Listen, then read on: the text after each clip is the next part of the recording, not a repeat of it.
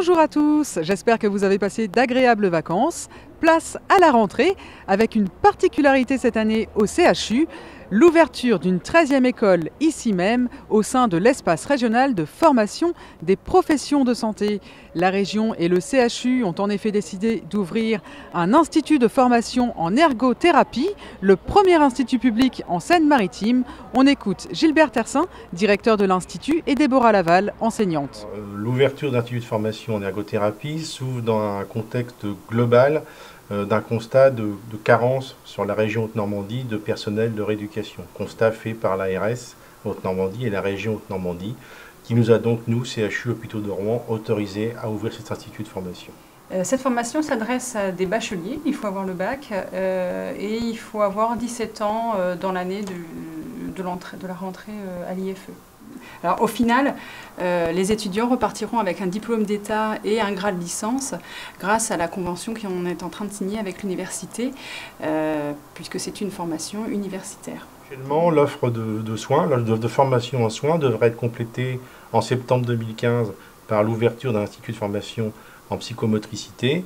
Et si tout se passe bien, nous avons un projet d'ouvrir sur le site de Bois-Guillaume un institut de formation au métier de la rééducation qui regroupera les masseurs kinésithérapeutes, les psychomotriciens et les ergothérapeutes.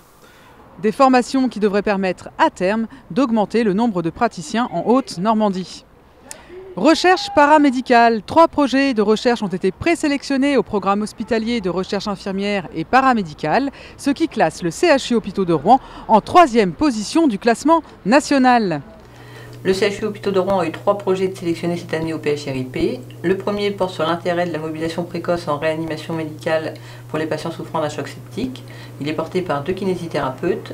Le second porte sur l'intérêt, l'efficacité et la sécurité des soins apportés par une infirmière clinicienne pour les patients souffrant d'un cancer digestif et traités par chimiothérapie.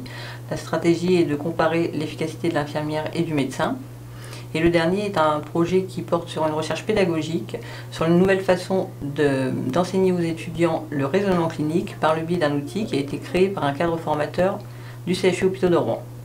Cela permet au CHU Hôpitaux de Rouen de mettre en place la recherche paramédicale au sein de l'établissement et de faire connaître sur le territoire national la motivation du CHU pour promouvoir la recherche auprès des paramédicaux. Par ailleurs, une belle remontée pour le CHU Hôpitaux de Rouen qui gagne 4 places dans le classement national du Point. L'hebdomadaire a publié son palmarès des hôpitaux et cliniques pour l'année 2014.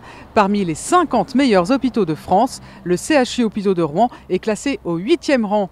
Il se distingue notamment dans la chirurgie des testicules, l'appendicite, la chirurgie de l'obésité ou encore la pneumologie et le diabète.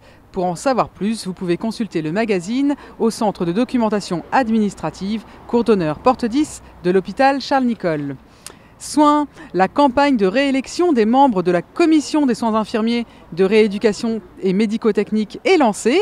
Le CHU innove et propose pour la première fois un vote exclusivement numérique. Le personnel soignant pourra ainsi voter via les clés IN distribuées en début d'année avec le projet d'établissement. Le bureau de vote numérique est ouvert du lundi 15 septembre 8h au lundi 22 septembre même heure. Les résultats seront annoncés dans la matinée. Culture, soutenez les clowns à l'hôpital. Toute l'année, des clowns professionnels interviennent au CHU Hôpitaux de Rouen pour apporter des bouquets de sourires aux enfants atteints de cancer.